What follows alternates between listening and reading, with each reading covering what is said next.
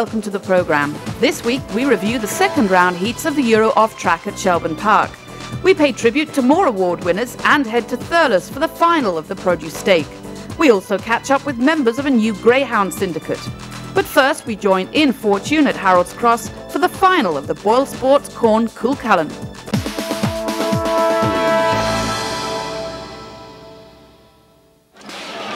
We're in Harold's Cross this evening for the final of the Corn Cuchulainn. It's worth 15,000 euros and it's sponsored by Boyle Sports Bookmakers.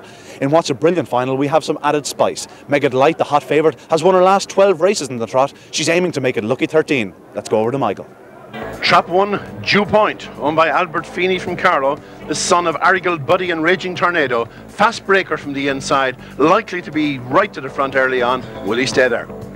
In Trap 2 we have Blue Boomer, owned by Keith Doherty and Alan Farrington from Dublin, trained by Paul Hennessy, a son of Smooth Rumble and Daly's Heartthrob, a real classic greyhound. Will he get that run early? He hasn't got it yet in the stake, well capable of doing it. Number three, Quivers Beauty, owned by Gareth Trainer from Monaghan, a daughter of Mustang Jack and Nariba. Rapidly improving stare, good second to Making Merry last week, and sure to be prominent right through here. Trap 4 Metric Tiger, owned by Larry Byrne from Enniscorthy, trained by Johnny Kavanagh, son of Smooth Rumble and Metric Melba. This is a tremendous stare. 750, probably a little bit too short. He'll be flying at the finish.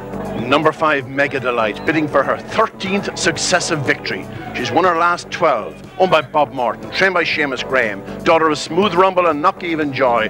Brilliant stare and the very deserving favourite in Trap 6, last year's Marathon Greyhound of the Year in Making Merry, jointly owned by John Fitzgerald and Pauline Corcoran, trained by Philly Goff, a son, or a daughter I should say, of Tom's the Best and Tinra Princess, semi-final winner, not back to her best yet, but well capable of coming back to it tonight. The final of the Boyle Sports Corn Cuchulainn in Trap 1, Dew Point. In 2, we have Blue Boomer. In three, Quivers Beauty.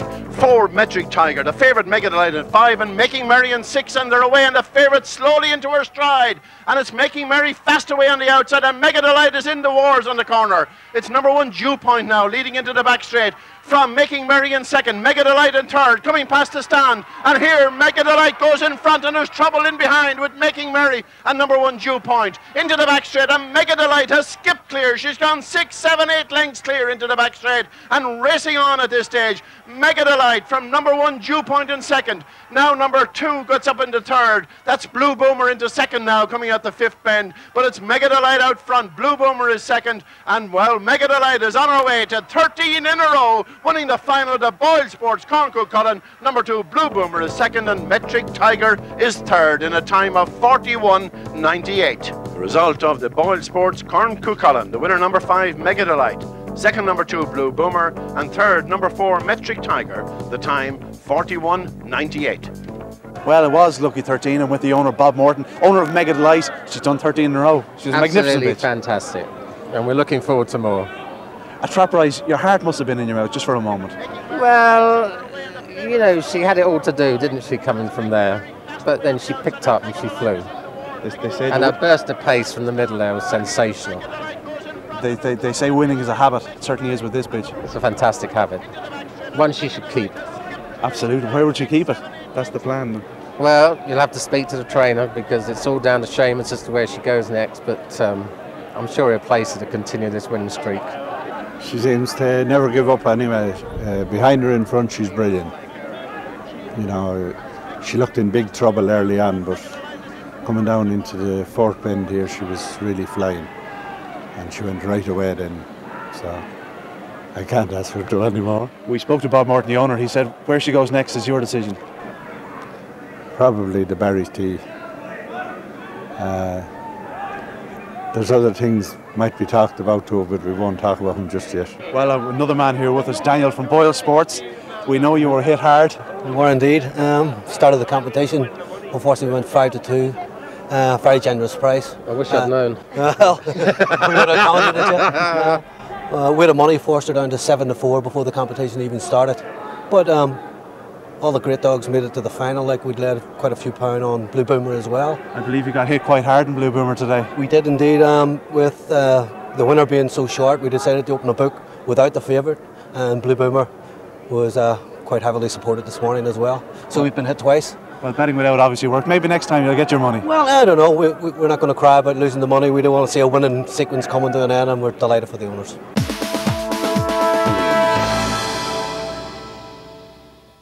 Pete's Flower from number one Ballymac Dilemma. Syndication has become extremely popular both in the horse and greyhound racing world. So it wasn't surprising when a group of staff members from the Curragh Racecourse decided to get together and buy their own greyhound. They became the No Refund Syndicate. It started off, we were out for dinner one night, about 12 of us, and we started laughing. We were going to buy this dog and what we were going to call the dog and what the syndicate name was going to be. So we said we laughed and joked for the night about it. And then we um, went back about two weeks later and we talked and work and said, well, are we going to do this? Are we going to, who's going to go in in this syndicate? And we all got together and said, right, okay, we'll put our money in, put money up front, and then we put in so much every week. And then, of course, there was the big selection what dog we were going to buy and where we were going to get it. So we asked our colleague Peter Matthews to come in and pick out a dog for us. So we gave him, said, pick out a few and we'll have a look at them. So, of course, he came up with three. We could have a bitch or two dogs to pick from. This is from some pals of his in Tralee. So, of course, syndicate got together and we decided, yes, we'll have a vote. Went 50 50.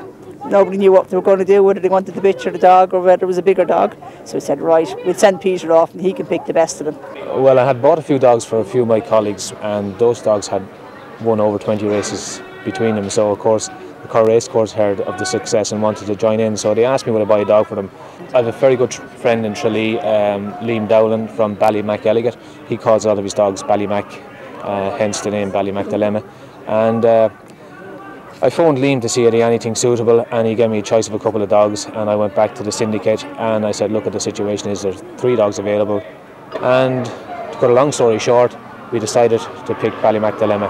Uh, Pat Kelly, the trainer, produced him at Newbridge for his first run, and he won by 12 lengths in the fastest time of the night, 29.35. And they're away, very level start. Number six now going up well, decision made on the outside. Number two very slowly away, Rosal Striker, into the corner. And it's number three on the inside, that's Ballymac Dilemma. Going on now and beginning to open up a gap here from number five, Penny's Made. It's number three, Ballymac Dilemma, stretching right away, opening up a huge advantage. Number five, Penny's Mate in second place around the final bend. And number three, Ballymac Dilemma, he's not going to be caught here.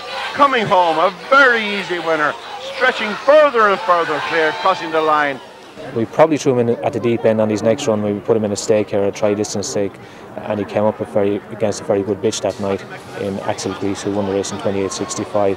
He got a bit of trouble at the bend, but I'd say on the night he just wasn't good enough. Ballymac Dilemma in second, I'll be back in third. Duffy's Hurricane in behind, but down the back, it's Axel Grease. Gone way ahead now from Ballymac Dilemma in second. I'll be back coming up to challenge for second place, approaching the third bend, and it's out in front, Axel Grease with number one. I'll be back now, just taking over second place from Ballymac Dilemma, who checks at this spot, and out front, it's number three, Axel Grease coming home, the easy winner from number one. I'll be back with number six, Duffy's Hurricane in third, just ahead of Ballymac Dilemma.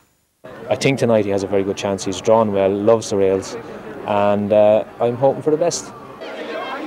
One of the 12 syndicate members is Inspector of Courses Barry Langdon, who was feeling the strain. petrified if you want to really know. We're back here tonight, uh, diehards, uh, naive, but, but we, will, we, yeah, we, we hope to do the business tonight. There was plenty of support in the market for Ballymac Dilemma as the clock ticked towards the start of the Peggy Kelly 525 stake. Jean Cretin was taking no chances and made sure she had her money placed before the off, as all the members watched nervously from the stands. They're all in. The bell's about to go. In trap one, Ballymac Dilemma. Two, Pete's Flower. Three, Burris Honcho. Four, Rumble Cruise. Five, Express Breeze. And six is Tom's Tattoo. Here coming behind traps. And it's number two, that's Pete's Flower from number one, Ballymac Dilemma, going into the corner, two from one. One trying to poach up inside, but he can't get through, and he's knocked over in very big trouble. And it's number two, Pete's Flower, now being passed by number three, Burris. Tonight was a bit disappointing. Um, we came up hoping we'd, we'd win. Um, you win the first night and you win easy. You, you get to, to like it and think that it's very easy. But we know from coming here the last night and tonight that you need a bit of luck. If you haven't luck, you have to wait for the next night. So it's just a pity we lost the money. So nothing new. In the racing game, we're well used to disappointments, and you just get up and go the next day, and the whole that's a whole lot different. So hopefully the dog's the same. disappointed tonight, but we hopefully we get another run. We maybe go back to Newbridge or something. Keep it in the home country. We might have a bit of luck then, seeing as we can't get any up here, and hopefully we'll go strength to strength.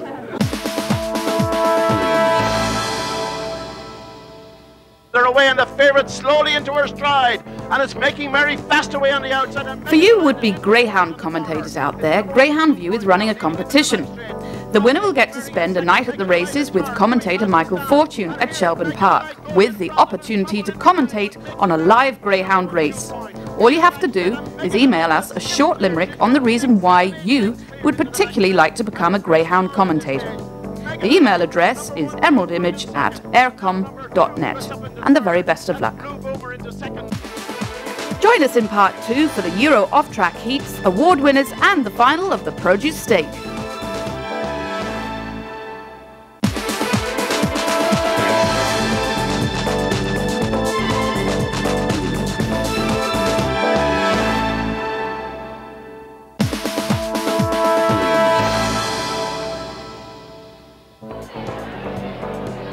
Second round of the Euro Off Track 600 was run at Shelbourne Park on Saturday night with Late Late Show back in action trying to defend the title he won last year. In trap one, Top General. In two is Simply Supreme. Three, Ballybock Kit. Four, Couch Trip. Five, Official Reward. And six, Haliska Vienna. Haliska, the marginal favourite as the hare comes around the final bend. Up behind the traps now for this first heat. The Euro off track 600 is number four, Couch Trip. Takes a flyer from the trap four. Now number two, Simply Supreme going up strongly on the inside. But it's number four, Couch Trip on the corner from number two, Simply Supreme in second. Number six, Haliska Vienna in third. And number one, Top General fourth. But down the back, it's Couch Trip, number four in front, being challenged by Simply Supreme on the inside. Haliska Vienna closing in third. And now Simply Supreme takes it up on the third bend from Couch Trip. He's battling back again on the outside. In behind him, Haliska Vienna and then Top General putting in a run. But up the straight, it's Simply Vienna on the far side. Simply Supreme and number four, Couch Trip coming back, and Couch Trip gets up close home to win from Simply Supreme and Haliska Vienna. The time 33.08. Second heat, and in trap one we have Manic Street. In two, Ballinclare Jake. Three, Top Price. In four, Unbridled Joy. The favourite Upper Grange Pays runs from trap five, and in six is Mount Taylor Walk. The hare coming around the bottom end, up behind the traps, ready for off and they are away and it's number five Upper Grange Pays fast away leading up to the corner. Number three going up well that's top price and number six on the outside Mount Taylor walk. But Ballinclare Jake arrives with a rush and takes it up on the corner. And number five is badly balked it's now number two, Ballinclare Jake being challenged by Mount Taylor Walk, number six down the back. It's Ballinclare Jake by a length from Mount Taylor Walk. Number one, Manic Street back in third. Onto the final bend, and now number six comes up to challenge. Mount Taylor Walk challenging on the inside of Ballinclare Jake, taking it up coming off the final bend. And it's Mount Taylor Walk coming to the line, being followed now by number one, Manic Street. It's six, one and two at the line. Number six, Mount Taylor Walk, winning it from Manic Street and Ballinclare Jake in a time of 33.21. The bell goes. Heat three in trap one, Spa Hill Prince. In two, Lenny's Friend. Three is Late Late Show. Four, Moving Customer. Five, Top of the Best. And six, Vera's Rovi. The crowd are shouting already. The favourites in three, Late Late Show, as the hare comes around behind the traps, ready for the off. And Late Late is out quite well. It's number two, Lenny's Friend going up well. Late Late in the middle and Top of the Best on the outside. Into the opening corner, three of them in a line, two, three, and five. It's number two in front. That's Lenny's friend. Late Late Show is second. Top of the best is third. Number six, Vera's Rovi running well. And here comes Moving Customer with his big run. But Late Late Show takes it up before the third bend. Followed now by number five, Top of the Best. Number two is third, Lenny's friend. Off the final bend. And it's Late Late Show in front from Top of the Best. And here comes Moving Customer with his big run. It's Late Late Show in front. Moving Customer finishing fast. So is Top of the Best. It's three, four, and five on the line. Late Late Show wins it from number four, Moving Customer, and five, Top of the Best. Heat four, and in trap one we have Walking Sunday. Two, Word of God, the favourite. Three, Black Cat Jim. In four is Ockram's first. Trap five is vacant. Fast Fit Paquita is a non-runner. And number six, Drumsna Manor, the hare now coming up behind the traps. Away they go, and it's number three, Black Cat Jim fast away. But number four, Ockram's first, showing good pace on the outside. Number one, Walking Sunday going up the inside. Very close into the bend. The favourite's in third, in trouble, but he, he survives it. Into the back straight. It's number one, Walking Sunday in front. Being challenged now by number two and headed walking Word of God suddenly goes clear. It's Word of God now from number four, Ockram's first moving second, ahead of Black Cat Jim. Around the final bend now, and it's Word of God in front, being challenged by Ockram's first and second. Word of God from Ockram's first, turning for home. It's Word of God going on from Ockram's first. Word of God coming to the line. It's Word of God the winner from Ockram's first, with very close for third between Drumsna Manor and Black Cat Jim. Time 33 34. Well, Late Late Show is once again the fastest of the round, and he'll be back bidding for further glory in the semi finals of the Euro Off Track 600 next Saturday night at Shelbourne.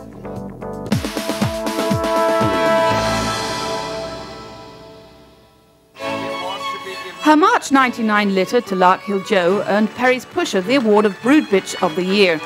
Her pups included Tiny's Bud and Droopy's Cule. She's a daughter of Kilcannon Hero and Doubleville. Her owner, Tommy Davison from Newtownabbey in County Antrim, accepted the award. Best British trained greyhound in Ireland went to Tiny's Bud, daughter of Larkhill Joe and Perry's Pusher.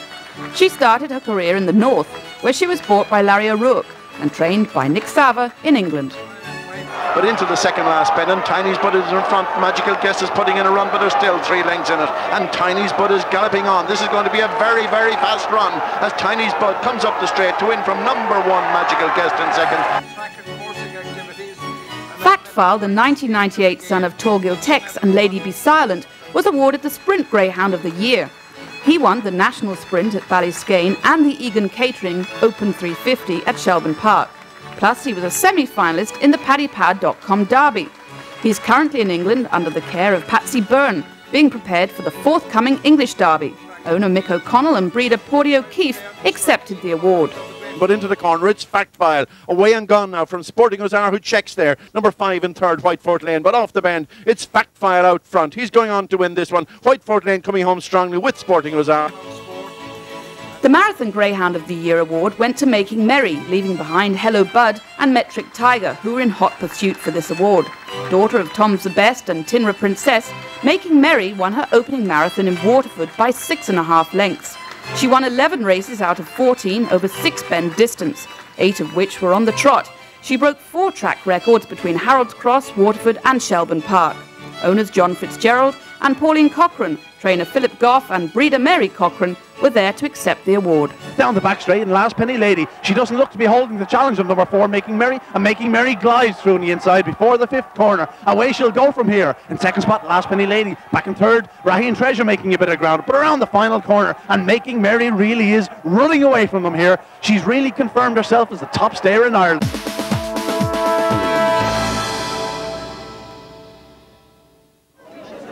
It's the big night of the year here in Thurles, the final of the Produce Stakes, sponsored by the Studog owners and Red Mills.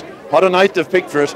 Absolute gale force conditions, but the locals have turned out in force. They've plenty to shout about. There are four Tipperary trained runners. Borna Dasher has a lot of hopes behind him. But Rebel Watcher's the favourite. He's 7 to 4 just before going to traps. Runs from trap 1, trained by Paul Hennessy. He looks the dog to beat.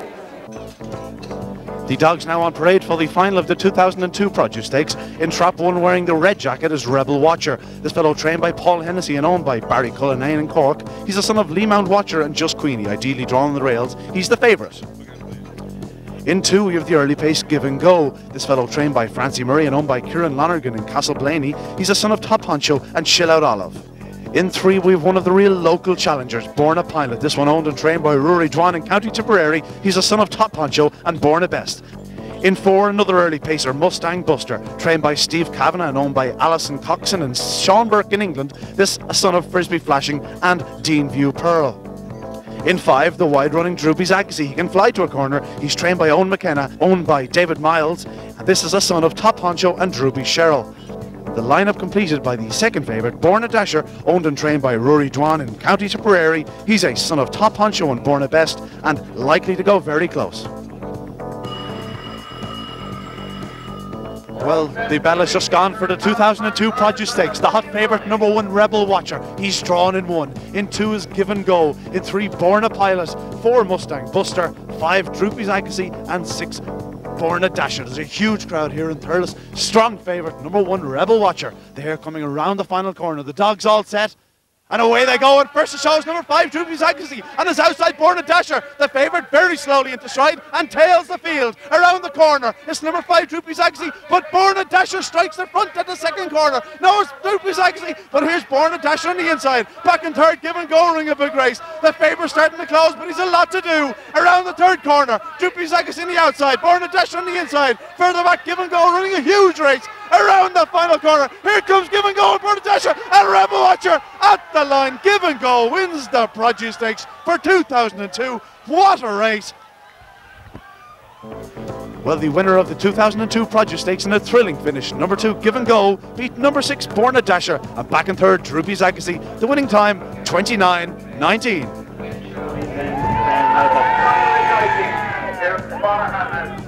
Well, Kieran, a tremendous performance, a great night. Ah, fabulous, fabulous, Michael.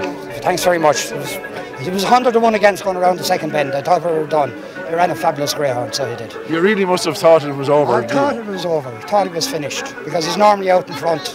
Ran it's the first night he's come from behind and did it, did it the right night. Even at the third bend, what were your thoughts? I saw I was hoping and hoping, and then when the other two moved off the last bend, I said he'll do it now. So he did. Like, you know, I thought that. What's the history of this dog, Kieran? Where'd you get him? I bred him myself.